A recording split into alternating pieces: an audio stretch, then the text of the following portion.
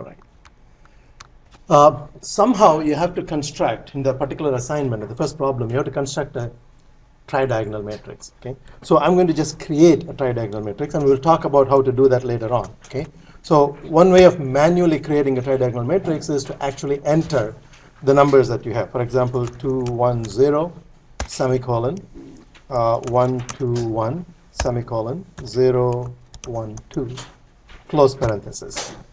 So all I'm doing here is constructing a 3 by 3 tridiagonal matrix. This is not a very ideal way of doing it because if I have a 20 stage absorption column, I will have to enter 20 by 20 matrix. So how can we use MATLAB programming uh, structures to automate that process? Then as a process engineer, you will find that you can answer a lot of questions like what is the number of stages I need to achieve a certain separation. So those are the things we're going to do today. But to answer the first assignment problem, I need to create a tridiagonal matrix. There are a number of ways of doing it, and this is one. Having done that, then I want to go and look at that particular problem. What am I being asked? Okay. The first question is write a MATLAB function which accepts two inputs, s and n, and returns a tridiagonal matrix. Okay, that we need to do, but I will show you how to do that uh, later on. Using the values of s equal to 1 and n equal to 4, so it's a 4 by 4 matrix, do the following calculations in MATLAB. Capture all of your interactions in MATLAB using the diary command. That's the first thing that you need to know. Okay, what is a diary command? What does it do? Okay, so if I say diary and then give it a file name, for example, A1. A1 is now the name of a file, and you, you must uh, begin to watch. There are many, many windows within the MATLAB environment. In this region, you will find that there is a, a file structure, the trees. All the files that you create will be in there. Okay, and on this window on the right, you will see all the variables that you create. So that's a workspace. And at the bottom, you see a command history. Whatever commands that you have typed, it keeps a historical record of what you have done so that you can recall any of the commands. Okay, and uh, so when I say diary A1, it's going to create a file by name A1. You can see it there. A1 appears as a file. Okay, and the file is open. So whatever happens from now on between you and MATLAB session, a copy of it will be put in that file. It's a record of everything that happens. That's how one of the ways that you can submit your assignment, showing that you have done it by yourself. Okay. So you may want to put, for example, once you have done that, you can say my name or something that identifies you as the person doing that particular assignment. Okay. And anything that you put with a percent sign in the first column becomes a comment. So MATLAB doesn't interpret it, MATLAB doesn't do anything with it except it'll put a copy of it into that uh, diary command. Okay. So what do I have now? I have a, tri uh, a tridiagonal matrix, 3 by 3 matrix T, and I want to go through each one of those questions. Okay. I, I don't want to do it all of it, all of it here. Then you will just copy it and submit it. I'm just going to give you a few hints on how to go about doing that. So the first thing is capturing everything. Then I say compute the determinant of t. And I give you, use the MATLAB function det. Okay? So you need to know what is most important is for you to learn to learn MATLAB on your own. Okay? How do I learn MATLAB on my own? So you can type, for example, det, help det. When you say help, give me uh, some help on that function, it will print out how to use it and what does it do. Okay, so DETX is the determinant of a square matrix X. Okay, so if you pass a square matrix X, it's going to calculate the determinant and return it. This you might have done it by hand for a 3 by 3 already. It's a long calculation. But in MATLAB, it's so easy. That's it. And a record of all this is kept in that file. And that's the file that you will later on. It's a text file. You can edit it. You can include it in your Word document if you want to submit it.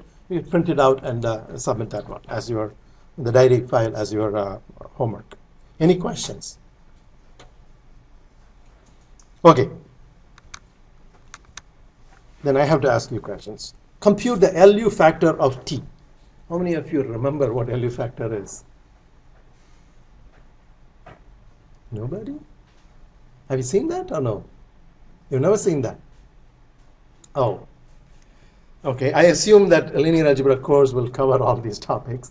But if it, uh, if you have, how, how many of those you have not seen? Go through that list. Inverse, have you seen? Inverse of a matrix? Okay. Rank, eigenvalues, eigenvectors. Okay. Orthogonality of eigenvectors, have you seen that idea? Or eigenvectors are perpendicular to each other. Okay. So, and polynomials, characteristic roots. Okay, so the only thing that you haven't seen is the LU factor. Not a problem. Okay. So what is an LU factor? Given a matrix, yeah. Pardon me? I was gonna answer. Sorry. Oh, oh, go ahead, go ahead. Uh, it's the product of two essentially triangular matrices. Exactly, exactly. It's a product of two triangular matrices. You can ask the question, if you give me a matrix A, can I always find these two matrices, the product of which gives me A? And it is like asking the question, if you give me a number 10, can I write it as a product of two numbers? Obviously you can, and there are many, many ways of doing that. Okay? There's no, there is no uniqueness to it. And the same thing happens in matrices. So a matrix can be written as a product of two matrices. And there are many, many such factorization schemes. It's called a factorization scheme. QR factorization, LU factorization, etc. Now, in the LU factorization, because there are many ways of doing it, we use those degrees of freedom and say, I want these matrices to have certain properties. I want the L matrix to be strictly lower triangular. What does it mean? Only numbers below the diagonal are non-zero. Everything above zero. And the other one to be strictly upper triangular, meaning all the elements above are non-zero, non-zero below are zero. So MATLAB, this is a very lengthy algorithm if you want to do it by hand. And in my textbook that I have put on the Moodle, you will find the algorithm. You will find the program that does it. Okay, the program that we ourselves write in MATLAB to understand how to implement something like that. But MATLAB has built-in algorithms for these, and that's where really the power of MATLAB comes. Excel, you cannot really do these things. You can define a matrix in the cells, but you cannot really do these calculations. In MATLAB, it is uh, again the first thing that I would say is try help LU and see what it says. Okay, and it tells you something about uh, how to input the variables and how to get the output from the variable. And this is a fairly long, lengthy help because LU factorization is a fairly long, powerful algorithm. So LUA, A is the matrix that you pass. A need not be tridiagonal. It can be any general square matrix. Uh, it stores an upper triangular matrix in U and a lower triangular matrix in L. Okay, so it's going to return. Remember, how does a function work? A function, LU is a function. It's a built-in function. A function is basically a rule. It takes certain inputs, applies those rules, and produces certain outputs. And we are going to learn how to write our own functions in MATLAB. Okay? But this is a built-in function which takes A and returns two variables, L and U. In fact, it returns more than that, L, U, P, L, U, P, etc. But for our purpose in this assignment, all I need is L and U. Okay? So the way to use that then, once I understand that part, um, remember here, here also tells you Cholesky factorization, QR factorization. These are other factorizations that are available in MATLAB. So to use that, all I need to do is L comma U equals LU T. So T is already a matrix that is defined. Okay, so it is going. This function is going to factor that matrix, give me the L and U, and you must watch also what happens as I type these on the workspace. On the workspace, I have a variable called T, another variable called ANS. Where did that come? ANS. It is answer to the previous question, which was the determinant. Okay? So what I should have done is I should have actually created another variable which I can understand because ANS is a single variable that will be overwritten. Every time you enter a command, without a receiver for the output, it stores it in the variable called ANS. Okay? So there you have L and U. It returns the lower, factor, uh, uh, lower triangular factor and the upper triangular factor. Okay? Is that enough help for you guys? From that point, you can go and do the remaining part, right?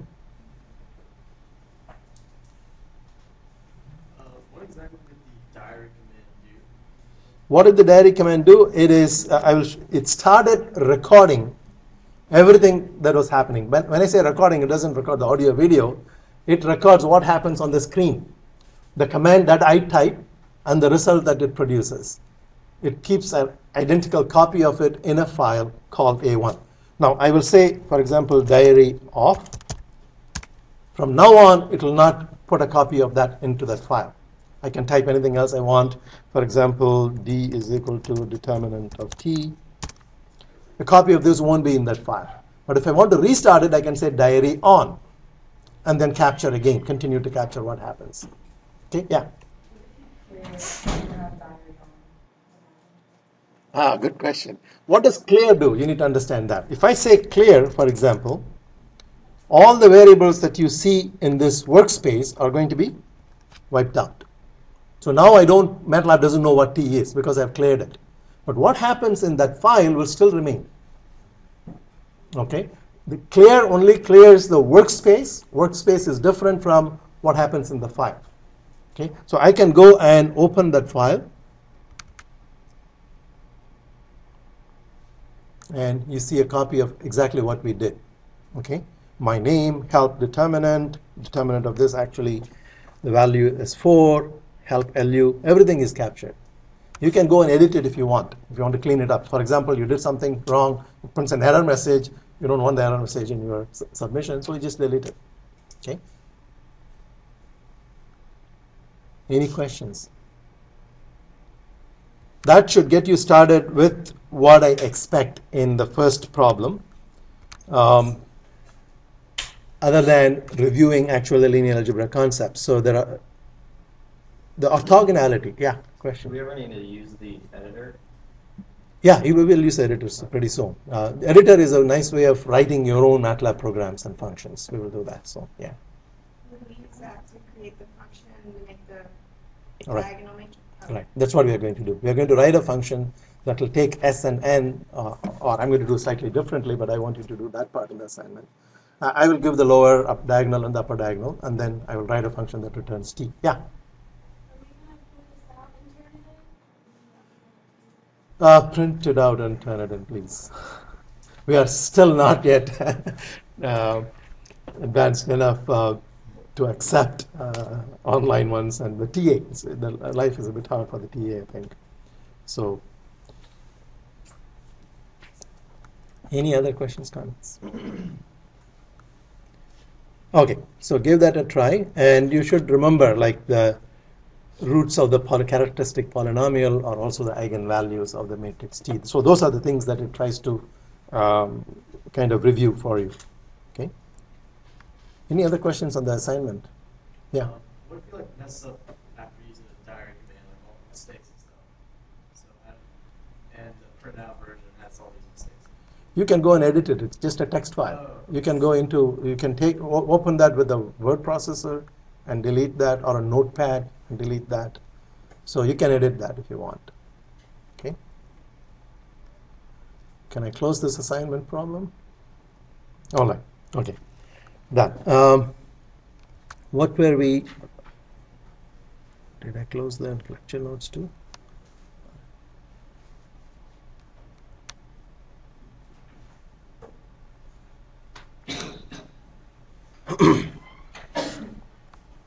Okay. Um,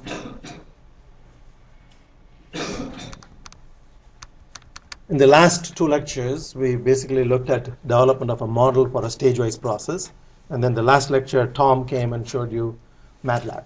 Now, the purpose of giving you MATLAB tutorials from time to time is not to teach you how to do a particular thing, but the process of learning. Like, why would I cover how to write a function that calculates the exponential of some number? Okay, it's already built in. In MATLAB, I can go and calculate that.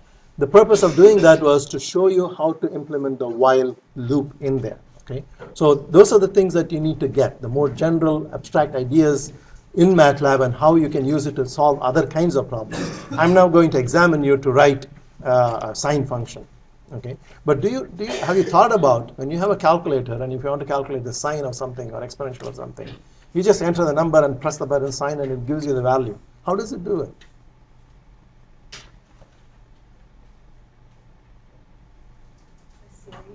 It's a series expansion. Every one of these functions, exponential is a series, sine is a series, cosine is a series. Okay, so it takes enough terms in the series to give you accurate value up to seven digits or 14 digits.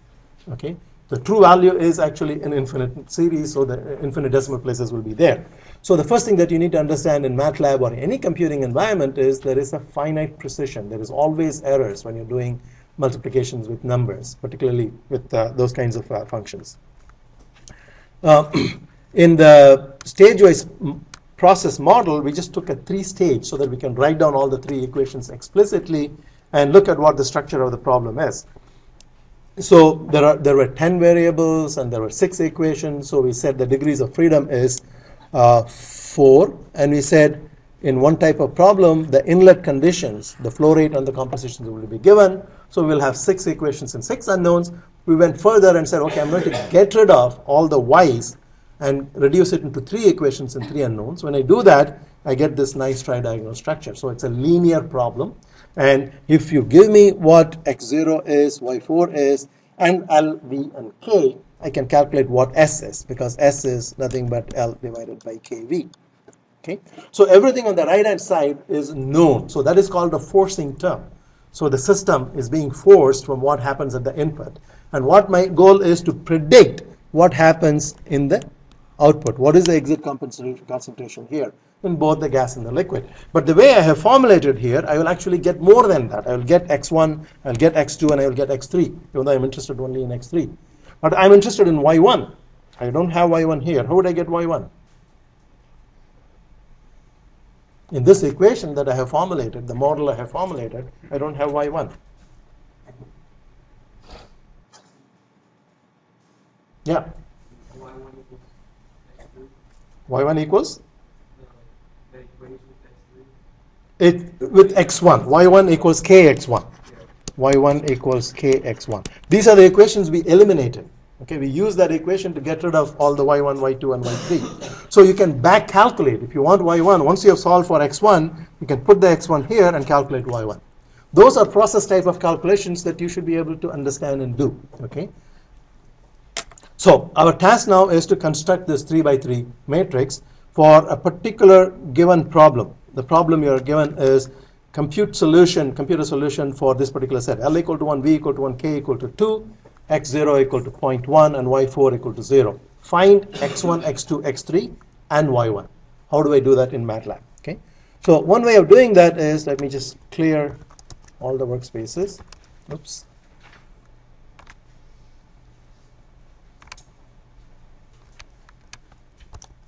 clear clear the window and you can also clear the command history. Okay. So I have a blank slate and I guess I should change the path to where I have the lecture.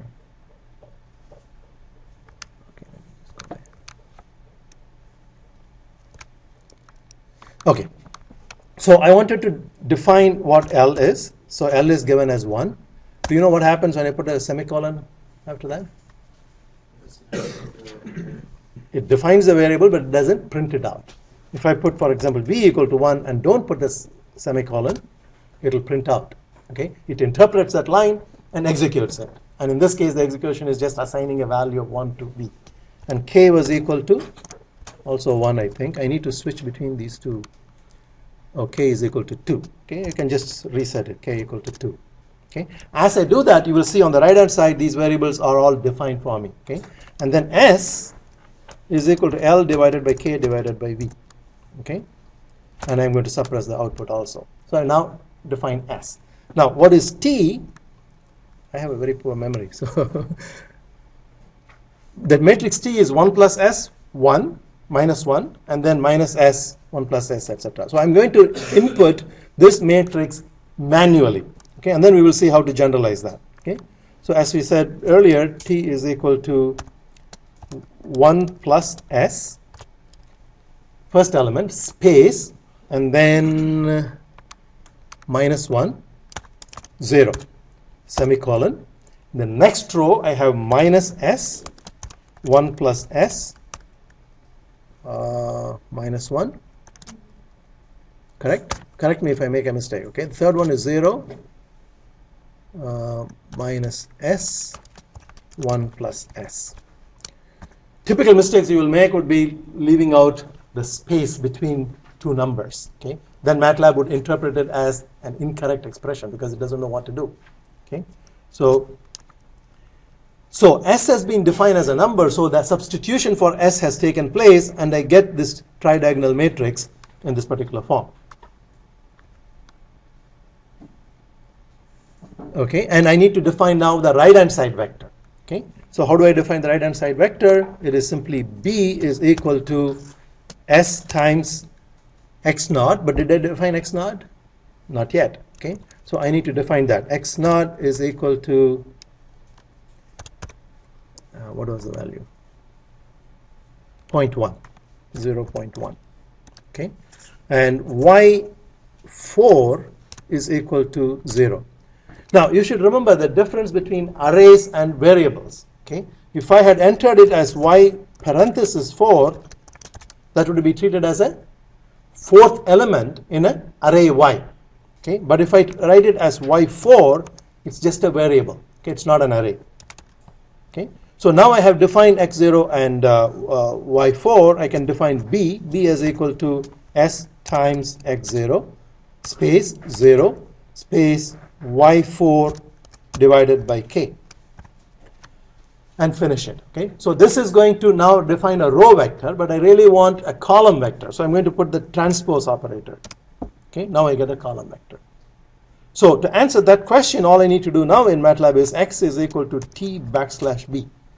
It immediately calls the Gaussian elimination, solves the system of three equations, and produces the result in x. That is my x value, x1, x2, x3. Okay, what I'm really interested in, what I asked you is just the exit composition.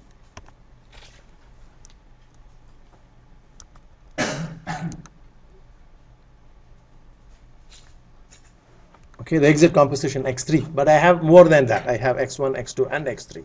Okay, and to calculate y1, all I need to do is uh, put y1 as equal to k times x1. Do you understand what I did there? I did not put, for example, y1 equal to kx1. If I had done that, what would I get?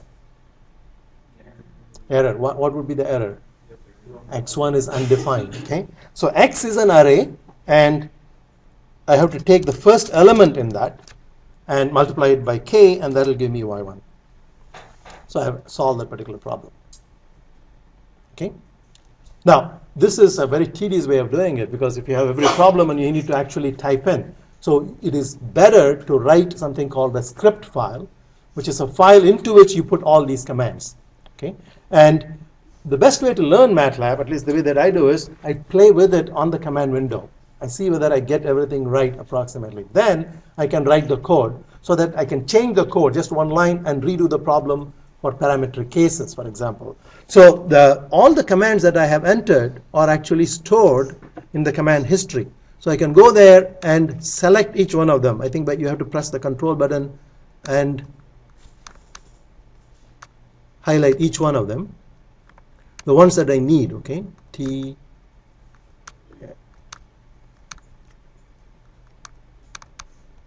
I guess I need all of them. okay, so I have selected all the commands. I guess I missed.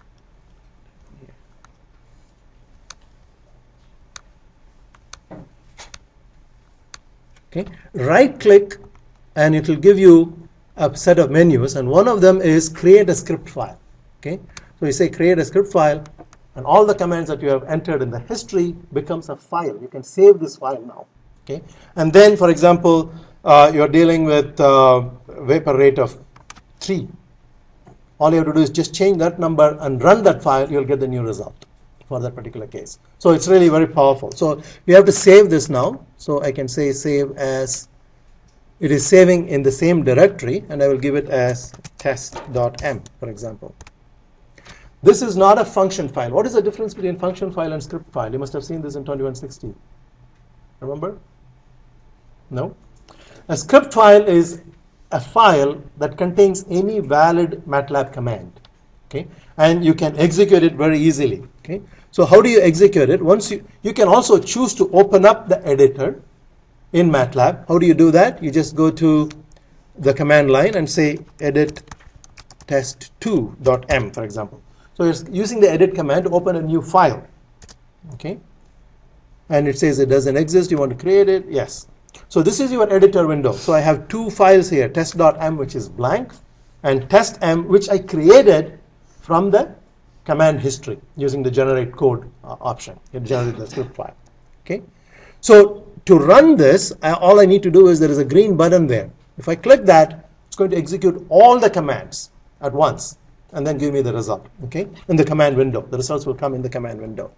So before I do that, let me just show you that we really it is this one that is producing. So let me clear the workspace, clear the command window, and then go to the and then run. Okay, what it has done is, it has executed every one of those commands, and if you go to the workspace, all those variables will be defined again for you, and the result is there. Okay, make sense? Am I going too slow? Okay. Um, that is a script file. Script file doesn't have a functional structure. It doesn't take any input, it doesn't produce any specific output, but every variable that you define in a script file is global in scope. That's another concept. Have you seen the variable? What is the idea between global variable and local variables in 2160? No? So there is a lot of MATLAB learning in this course then for you guys. A global variable is a variable that uh, available in the workspace. So whenever you define a variable in the command window, it becomes global in scope and a copy of it is put into the workspace. So any you can reuse it any number of times that you want. But a function is also a file, okay? But a function file has a very specific meaning, okay? So in this particular example, I'm going to create edit trid.m. The next part of the question, maybe let's go to the question and see what we are asked to do. Uh, so the first part is done. Okay, switch to MATLAB and we have solved and we have obtained the compositions and uh, the Y1.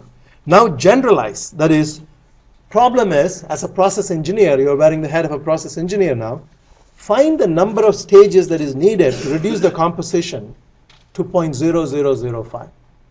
Okay, so in the inlet liquid stream, you have an in- inlet composition of 0.1, and when you had three stages, that composition was reduced to 0.0067.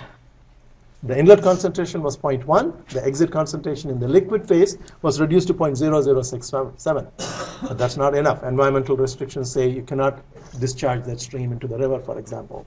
So you need to reduce it to 0.0001 as a process engineer, you need to say, okay, what can I do? Okay, there are a number of options that you can have in your hand.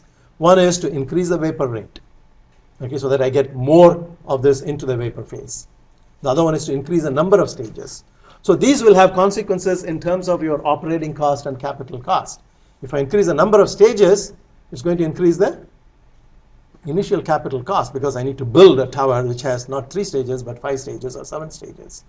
But if you say, okay, I want to do this only with three stages, I want to minimize my capital cost, then you need to put more vapor in through it. So on a daily basis, that's your operating cost. Okay. So the ultimate design is an optimization problem where we try to minimize the total cost, operating cost versus capital cost. Okay. These things you will learn in the design course, etc. But you're seeing the basic idea of how you can use MATLAB to answer at least some of those questions. So if, I, if my task is to reduce it to less than 0.001, how can I achieve that by uh, changing the number of stages? Do you understand the question? How do you do? How do you go about doing that? When you change the number of stages, what happens to the problem size? Instead of a 3 by 3, I have 4 by 4 or 5 by 5 or 7 by 7. I don't know what it is. I need to find that out. Okay? So what that means is I need to solve this problem repeatedly by writing out the 3 by 3 matrix and the 4 by 4 matrix and the 5 by 5 matrix, etc. That's tedious. So how can we use MATLAB to help us in that problem so that we can get to the answer quickly? That's the goal now. Okay? So I need to write a function which will generate the tridiagonal matrix for any value of n that I give. Okay? So that's my goal. So I'm going to go into the uh, did I create that matrix? Yeah, edit trid.m. So this is the function I'm creating. I hit enter and oops. I already have that function. I guess I should get rid of this and we'll write it from scratch. Okay. So we are going to write a new function. I'm going to do it with your help. Okay. The structure of a function that is different from a script is it must always start with the keyword function. That's how MATLAB knows this is a function, it's not a script. That means it has a whole set of attributes associated with it. Any variable that I use inside the function is local. The moment I get out of the function, those values will be forgotten. It will not be available in the workspace. Okay? So it gives you a nice way to isolate so that you don't reuse accidentally the same variable in different parts. So the function is the keyword that I need, and it's going to produce one output. So the next, I, I need a space, and then I need to identify all the outputs that function is going to produce, equal to uh, the name that you can give. Parenthesis, you identify what are the inputs. Okay, I'm going to identify L, D, U, comma N. So what I'm saying here is I'm going to input four numbers. Well, I want you to do it differently so that you just don't copy this and submit it. Okay, I want you to do, do it differently in your assignment. You're going to do essentially the similar part for the second problem. But here I'm taking four inputs. The first input is all the numbers that go onto the lower diagonal. The second one is all the elements that go on the diagonal. The third one is all the elements that go on the upper diagonal. And n is actual size of the matrix. Okay, so that is how I start writing a function. Okay, then um, what would I do next?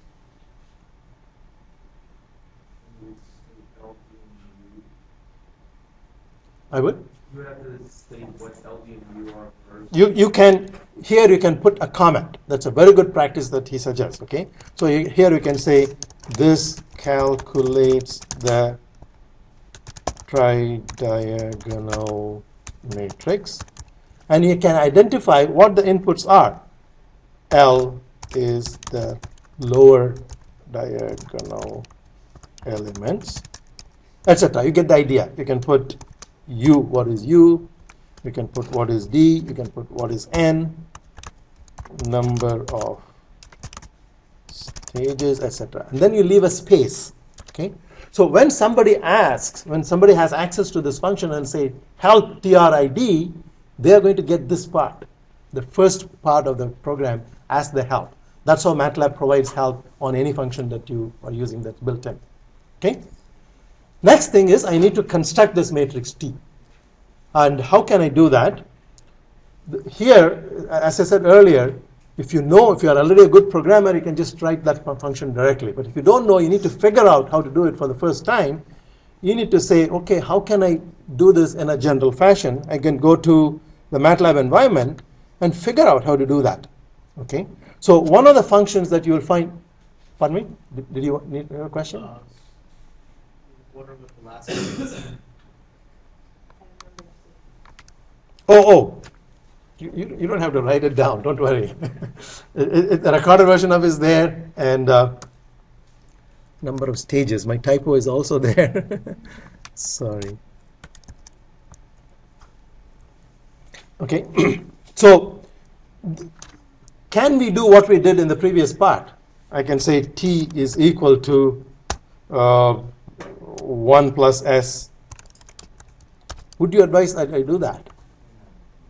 Because you don't know how many rows you have to, how many elements in the first row you need to put. You don't know how many rows you need because that depends on n. So that strategy is not going to work. Okay, so you need to abandon that, and you need to figure out a more elegant way of constructing this matrix for any value of n. And one of the commands that you have in MATLAB is called zeros. You must have seen this in MATLAB uh, 2160, right? What does zeros do? Yeah, if I create zeros 3, creates a 3 by zeros. Okay. 3 by 3 matrix. If I do zeros 3 comma 1, it creates a column vector. If I put comma zero, zeros 1 comma 3, it will produce a row vector.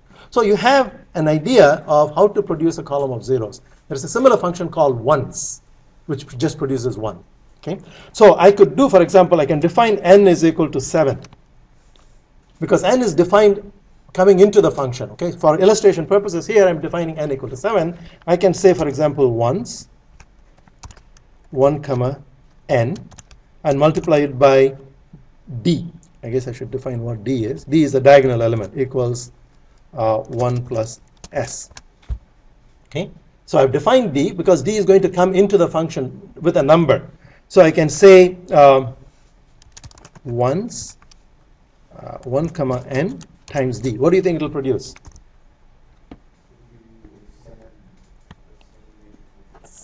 A vector of length 7 with d in that, the value of d. Okay? And then there is another function called diag. What does diag do? Let's see. Diag ans. What do you think this is going to do?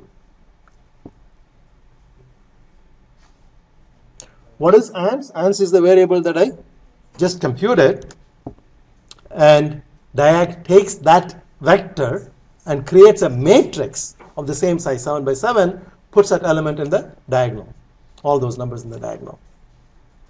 Do you understand what's happened? With this clue now, you help me. How would I write that first statement? I have to use these two functions. Okay, so I can say t is equal to diag. So diag will expect a vector, and that vector is created by ones. Very good. Multiplied by d. So parenthesis matched and everything is fine. So now n can I can change n value to anything. It will automatically create a matrix T with the right elements and D as defined by D. So D is also an input. So you must notice that D is an input that is used here, n is an input that is used here. Anything that appears on the right hand side of a statement must be defined before, either as an input coming into the function or by calculation. Okay? Now, if I stop this, what is going to happen? It will produce an output which is a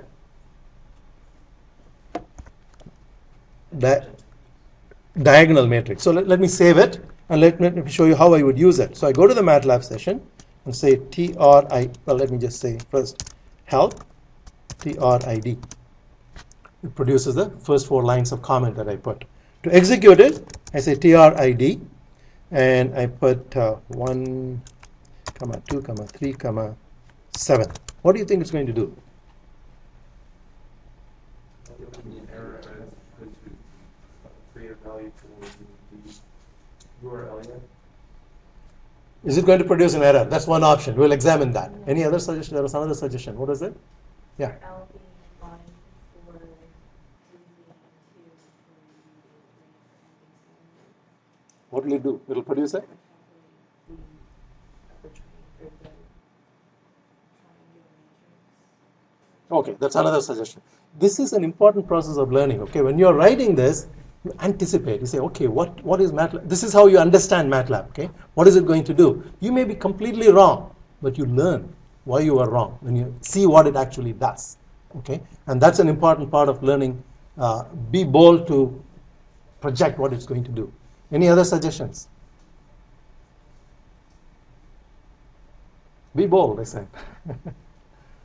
no? Nobody wants to guess? Okay, let's just hit the return button and see what it does and see whether it makes sense. What did it do? Produced a square 7 by 7 matrix with elements only in the diagonal. Even though I defined L and U, I never used it inside the function. What I used inside the function is only D, the diagonal. Okay, so it produces the diagonal part. Do you understand what happened? Now you need to come up with a way of fixing it because you want to go, there is a goal that you want to achieve. That is, you want to produce a tridiagonal matrix. This doesn't do. But it, you have already a powerful tool because this can produce a matrix of any size. If you put 20, it will produce a 20 by 20 matrix with diagonals. But it ignores L and U. In fact, if you look carefully, it gives you a warning. It highlights the L and U. And if you take the cursor near it, it says input argument U might be unused. So you're passing something into the function, but it, you're not using it. You're not doing anything with it. So it a- automatically gives you clues like that. Okay? Do you understand it? Any questions? If not, what do I do next? You add the upper part and you add the lower part. So this is matrix addition. Okay, but let me go to the MATLAB window and ask the question: What would I get if I say diag? Now diag has two input arguments. Okay, so um, as I type, in fact, if you hold on, it tells you diag v comma k. So it can take two input arguments. Diag is a function, takes two input arguments. So if I say, for example, diag 5 comma 1, what does it do?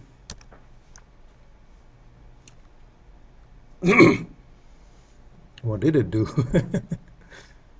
well, okay, what I really wanted to do, I, I think it, it is working in the same way, but it is the one here says put the elements in the upper diagonal part. Okay, so to really see that, I should do, for example, diag uh, 5, 5, 5, 5, 5, comma 1. So what I'm saying is put those numbers 5, 5, 5, 5, 5. There are five numbers I have, but put them above the diagonal. The second argument, one says put them above the diagonal. So you get all the numbers 5 uh, assigned to upper diagonal one. If you want to do the lower diagonal one, can you kind of guess? Negative 1. Okay. Now, if I want to put them all together, diagonal, upper diagonal, lower diagonal, what do I do? So I need to add diag, okay, ones, 1 comma n, come multiplied by L, comma minus 1. I, I have a deliberate error here. I want to see who captures that, okay? Diag 1 comma n multiplied by u comma plus 1.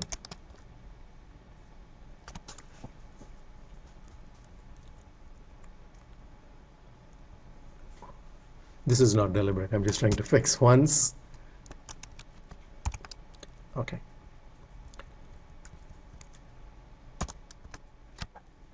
What have I done? If you look carefully, can you see in the back? Is that moving up? Yes? No? Okay. So the first one we saw what it did. Second one I'm adding ones. This is not one. This is L. This is L that comes in from the input. Okay. So I'm creating a vector of ones, multiplying it by L, and putting it into the lower diagonal element by saying the second argument is minus one. And I'm doing the same thing. I said there is an error in there. What is that error? The two, lower upper diagonals, uh, is gonna create, eh, whatever n value is, that's gonna create how many, uh, numbers are in that diag. So we give you an extra row. That's right. So there is a dimensional inconsistency in the problem because what it does is on the diagonal, if there are seven elements, on the off diagonal elements, how much does it have? Only six. Okay. So if you give seven, then it's going to create an eight by eight matrix. So in the second and third elements of that function, it will create and actually end up creating an eight. The result of this would be an eight by eight matrix if n is equal to seven. And then you're saying add that to a seven by seven matrix. It's not going to work. It will give you an error message. How do I fix that? n minus 1. Okay, now you save that and you go to the MATLAB window and type that function. Type simply list that function. Okay, so type tri what did I call it? tri Yes.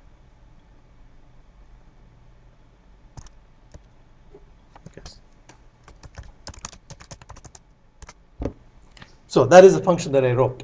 Okay, I'm listing it with the type command. I can ask for help. That gives you the front. I can now execute it. How do I execute it? I just say trid um, 1 comma 2 comma minus 1 comma 6. So what is this going to produce? A 6 by 6 matrix with ones on the lower diagonal, twos on the diagonal, and minus one on the upper diagonal. There it is. But the beauty of this is I can go back and say change it to 60. It's going to produce a 60 by 60 matrix. You don't have to write it down and solve I have 60 stages. Okay? That's where the power really comes in in generalization. Of course, it's a huge matrix, so it just goes over very quickly. Any questions on that? Is that okay? Now, this is a function. This function can be reused any number of times. we haven't still solved the problem. What is the problem? The problem is find me that number of stages which reduces the concentration to 0.00001, something like that, right? 005. I wanted to reduce it to 0.005. Okay, how many stages do I need? How would I answer that question using this tool now? The function that I have built. You can use a while statement. Keep incrementing n and solving the problem repeatedly. Okay, it's a very good idea. I have not done that. I'm going to illustrate something different, but that's actually a very good idea. Okay, I'm just going to select two or three n's and then show you how to do that. Okay. So what I need to do is I need to now write a script file. I think this maybe I can save some time by showing you what the script file looks like. Uh, no, that's not the script file I want. Problem. Remember, the difference between a script file and the function file is function file has definite inputs and outputs, and function as the keyword. A script file is anything that you can type on the command window, can throw it into a file. So this is a script file. So let's now try to understand what the script file does. What does it do on line 1? Defines all the values that are given to me. k equal to 2, l equal to 1, v equal to 1, s equal to l over kv. I'm calculating it, and x0 equal to 0.1. Okay? And what am I doing in the second line? I'm solving it for n equal to 3 because I've already done it. I want to make sure that it works. So for n equal to 3, I'm constructing a tridiagonal matrix, but I'm calling it as T3 matrix. I'm not calling it simply as T, but T3 to indicate to me that it's a 3 by 3 matrix. And then trid. I put minus S, comma S plus 1, comma minus 1, comma N. So this actually defines the lower diagonal and upper diagonal, the four inputs and the number, number of stages. So that is going to return in my workspace a new variable called T3, which will be a 3 by 3 matrix for three stages. And then the next part, what do I do? I define, now you can write these one below the other if that helps you in understanding it. But MATLAB allows you to stack all the lines horizontally also, putting semicolon. Okay, but you can do this as well.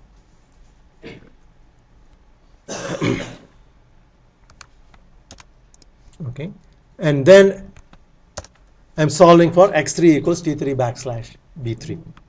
Okay. For the tridiagonal matrix, shouldn't be T3 and not 3 equals? Thank you. I just in rearranging it, I just deleted the t. So t3, b3, and x3 equals t3 backslash b3. Remember, as you're writing it, everything on the right hand side must be calculated or defined before. Okay, so that's done. And then all I've done is I've copied that line one more time and changed n to 7. This is exactly the same line that I had before. Of course, I changed it to t7 and then b7. Okay, so if I run the script, I will get solutions for two different cases. One when n equal to 3, another one when n equal to 7. How do I run this? All I have to do is just run that, hit the green button, and it runs and it defines all these variables globally in the workspace. So if I go to the command window, you will see T3 defined, T7 defined, and X3 defined, and X7 defined. Okay, and if you want to look at what the values are, of course, here it prints out. So when you have seven stages, does it meet the re- requirement? It does. 0.0004 is the exit concentration. What I wanted it was only 0.005, I think. So 7 is actually too many, perhaps. So now you need to bracket it. You can say, okay, maybe I should try for 6, maybe I should try for 5. And that's where using the while loop becomes extremely elegant. You just put a while loop and say, until the x composition, the last composition, the last number in the x vector becomes less than 0.005, keep doing it. Okay? Do you want to try that? As a group of two or three people, figure out the code and then we will do it on the screen. How many of you are comfortable with the while loop? Only one or two. we need some leaders here and there. okay. As I said, I have not done this, so help me. I'm going to make a lot of mistakes. Don't be afraid of making mistakes. That's how you learn. You make mistakes, but understand where the mistakes are, and you learn from that. Okay. So I want to implement the suggestion that he made in a script file. How would I do that? While, While and you give a condition statement, what is that condition statement? uh, keep going until like a certain value is reached for n. Right. So the, the, the first thing I need to do is I need to kind of initialize, okay? n is equal to 3. So I'm going to start from exploring 3 stages, 4 stages, 5 stages, and stop exactly when the condition is met. Okay, so let me get rid of all these commands.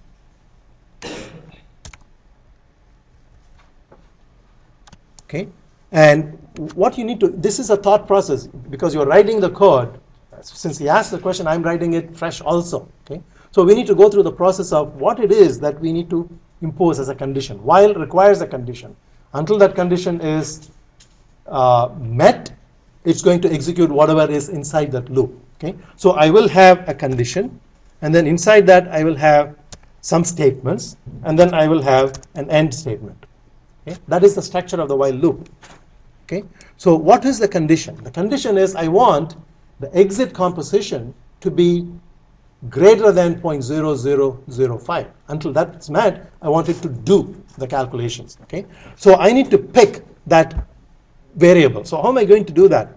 I, I, I need to define again that variable x last, for example, the last composition is equal to 1.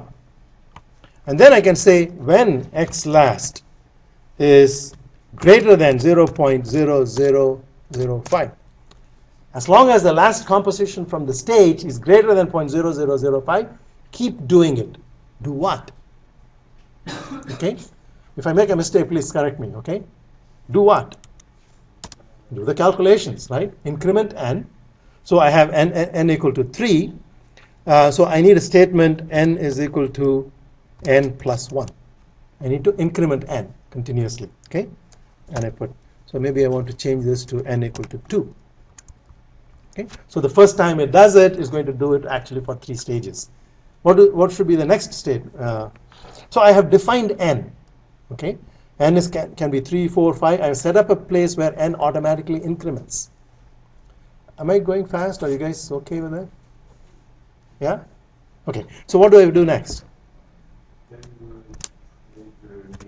Will create your matrix. T equals uh, T or ID and minus S, S plus 1, comma minus 1, comma N. So N is now automatically being changed. All the others remain constant. Okay, so that's fine. And then I need to calculate B. B is the right hand side. Okay, so that's going to be S times x0, which remains constant, and then zeros n minus 1, comma 1,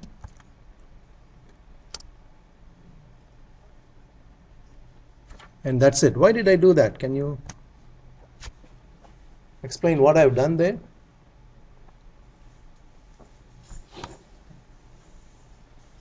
Do you understand that statement?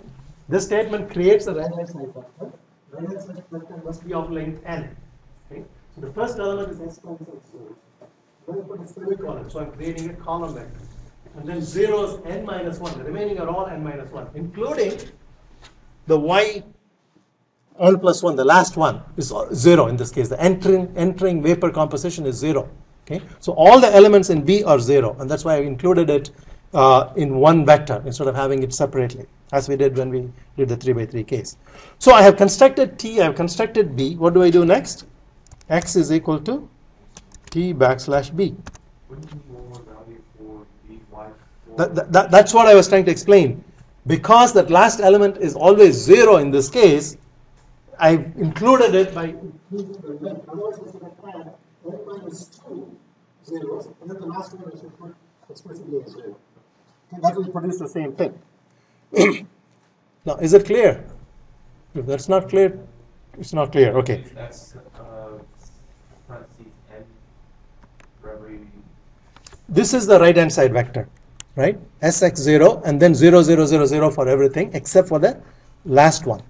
So if I have to write this properly in this way, what I should do, maybe let's do it that way and then understand why this will work. So I must have n minus two zeros, right? Because the first one is non-zero, the last one is non-zero, everything else is zero, right? So I need n minus two zeros there, and then the last one would be semicolon, the y entering value, okay? So in this particular case, it was y4 because I had three stages. But if I had eight stages, that would be numbered as y9. If I had 20 stages, that would be numbered as y21, etc. Okay? But that number is always zero in this particular problem. Okay, so I need to put a zero in the last place also. Okay, so I, I can put an explicit zero, or I can say this is y last divided by k, but then I need to define y last as equal to 0. They will all do the same thing. But if I write it like this, I gain some power. What is the power? For example, if the last composition is not 0, if it's something else, all I have to do is go to the first line and change that value, and I can make it work. Okay? Any questions? Now, was this program going to work?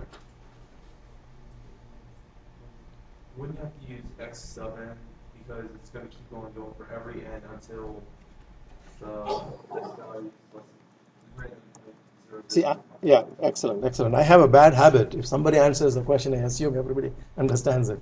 There is an important element that you need to do still, one last part. Otherwise, everything else has been put in place.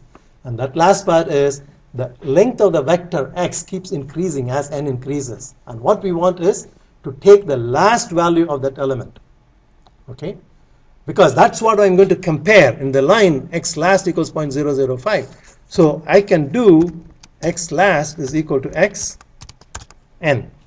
So what I'm doing is I'm taking the last element of the vector and putting it into a variable called x last. When this function goes back, it will do it for, for example, the very first time it comes through, it's going to step and increment it. And then it will solve for a 3 by 3 system. Excuse me. And it will take x3, put it into the variable called x last, and then goes back. Now x last is no longer 1, it has a new value. And is that value greater than 0.0005? The answer is yes. I need to do one more stage. Okay, then I will increment n, do 4 by 4, and take x4 and put it into x last. Right? Do you understand, everybody? So, I save this. I guess I can get rid of that line, right? It's useless. Okay, save this. And then it's still a script file. Okay, a script file, you can always run it from this command, but you won't know what it does because it's going to print out a lot of things on the command window. So it executed the whole thing, came out of the win solution, but it printed out a lot of them. Okay, why did it do that? X last equals 1, B equals 3, 4, you can see it, 5, 6, 7. So it did 7 times. So n equal to 7, it met that condition. But we have no output. The program is not structured in such a way that it produces meaningful outputs. So now we can clean it up. You have made the logic work. You can clean up the program to suppress, for example, all the outputs. So you can go in there and put a semicolon there, a semicolon there to suppress that output. And then you want to print out. What do you want to print out? n. Because you want to know how many stages. So you just type n, it will print out the value of n. Okay? So run that, and there it says n equal to 7. Okay, so this is the power of this method is now you can go into the function and say, no, I really want to reduce this to 0.00005. Just change that, and it, it, it let it do all the calculations. Okay, run it again, and go there. It says 14 stages. You need 14 stages to reduce the composition to that level. Okay, so you can. I hope you begin to see the power of using a language like this, where you can answer more sophisticated process design related questions. Any questions on that? Okay, let's move on. so I've done the second question and seen more importantly the ideas behind implementing the problem in the MATLAB language. The third question is an alternate specification. What is an alternate specification? Remember, we have 10 variables and 6 equations to begin with, and so we have 4 degrees of freedom. So any of the 4 variables that are appearing in the model can be specified. And that depends on what kind of a process situation you are examining. So in this particular case, you are told that you are processing a certain amount of gas, V, and you are told what is the inlet composition in the liquid stream, and you are told that the composition Y4 must be reduced to Y1. So you're in this case, you are switching two of the specifications. Instead of previously specifying L, we are making L as the unknown. but we are specifying Y1. Previously you were calculating Y1. Okay? So we are just we have two sets of variables and we are switching. Okay? Switch L with Y1. Make Y1 a known and make L an unknown. So you will still have six equations and six unknowns. You can still go through the elimination process, reduce it to three equations and three unknowns. But what will be the unknowns? okay, so here is the map. So let me identify all the things that have been specified. V has been specified, Y4 has been specified, Y1 has been specified, and X0 has been specified. Four degrees of freedom have been exhausted. Okay. Now I need to find out what are the ones that I need to calculate. What are the unknowns? The unknowns are L, X1, X2, X3, Y2, Y3. okay. I have six unknowns. I have six equations, but I can eliminate the three variables. What are the variables I want to eliminate? Previously, we eliminated y1, y2, y3, but now I cannot eliminate y1. Why? It is already known. Okay, so I can only eliminate the unknown variable. So I can eliminate y2 and y3. okay, but if I know y1, do I know x1? This is not MATLAB questions. These are process questions. Okay, so now you are a chemical engineer. Okay, so if I know y1, y1 and x1 are related. I can immediately calculate x1. So I actually also know x1. okay, so in the unknown list, all I need to include is the vector x is going to contain L, which is the solvent rate. How much of solvent do I need to use to reduce the composition from Y4 to composition Y1? How much of solvent do I need? That's the question I'm answering as a process engineer. Okay, and then what will I include in the unknown? x2 and x3. Course, you also have y2 and y3 is unknown, but once you know x2 and x3, you can calculate y2 and y3 using y equals kx idea. Okay, so what I have is I have same problem, same model. By simply changing the specification, I'm addressing a different type of process scenario. And in here, L and x2 and x3 are unknown, and these are the three equations that you see here. They are the same equation, just arranged. Everything has been moved to the left hand side, and I've written that as equal to 0.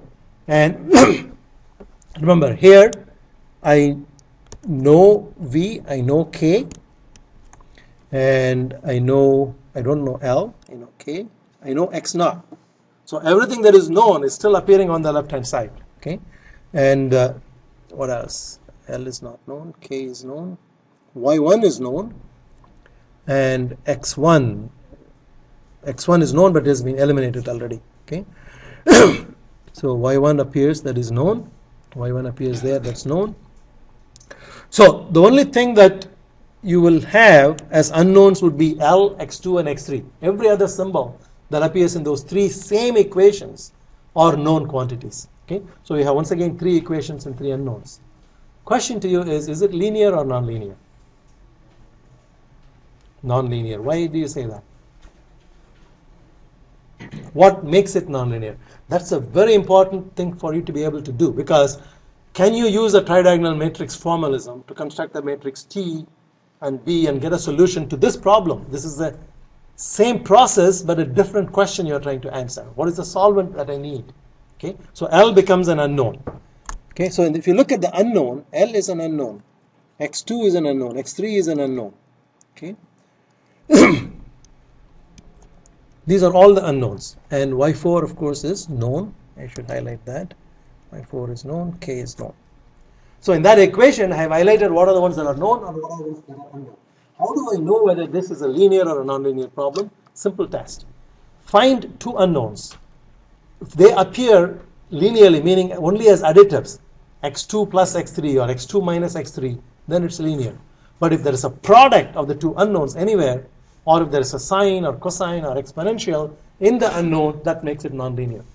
Then you need to use a different tool in MATLAB to solve that. Okay. So in this case, let's take term by term to, uh, to apply the test. This term is a linear term. This term is a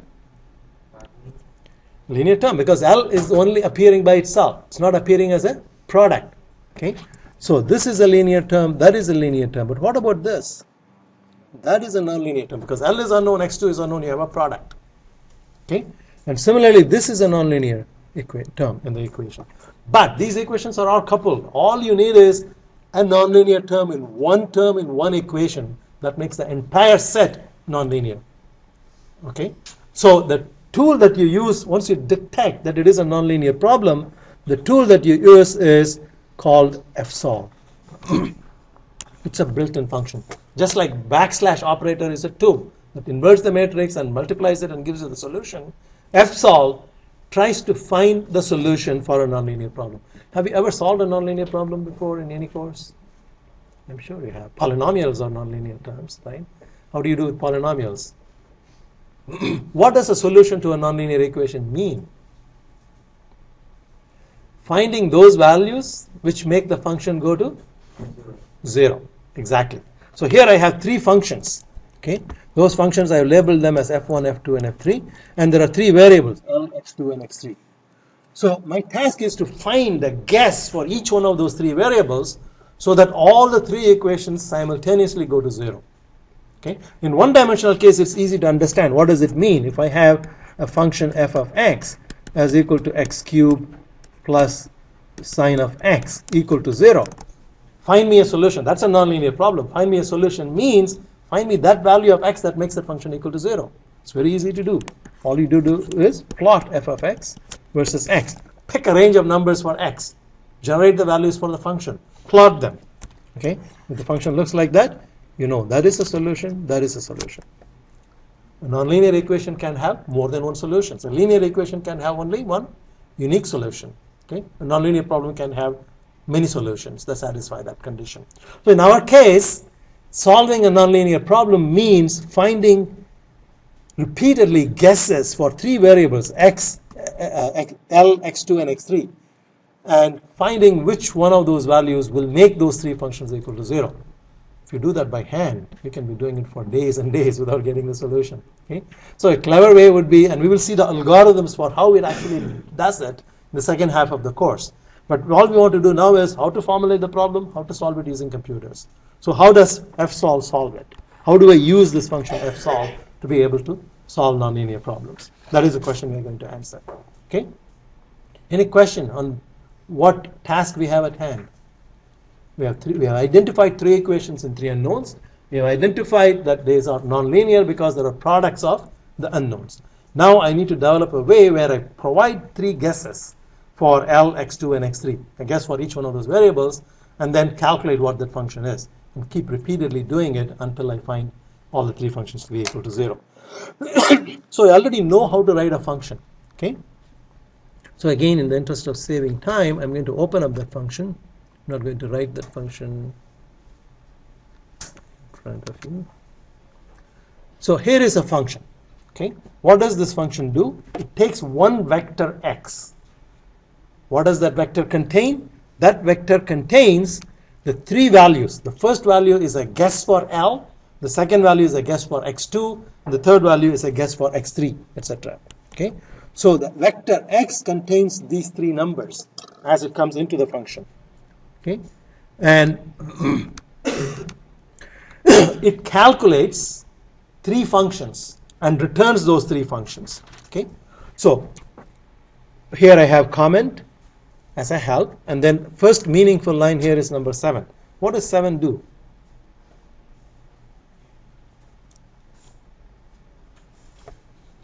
What am I trying to do in line seven? I know that x vector that comes in is going to have three values, and I know that the first value stands for first element of vector x, which is x1, stands for L. So I'm just taking that x1, the first element, putting it to a variable called L, because that is a guess for L. Then I define k equals to 2, v equal to 1, x0, 0, y4 is 0.8. These are all given to me. Okay, y4 is given, remember, and y1 is given. These are all given. I'm just defining those variables. So line 10 is the next important line. What does that do? It states that function f. I want to calculate that function, okay, using those values. So if you go back, there is your function f1, v times k times x2 minus y1 minus l times y1 over k minus x0. That's not going to be 0 for any arbitrary guesses for l, x2, and x3. Okay, so all I want to do is calculate those function values, knowing that it's not going to be 0.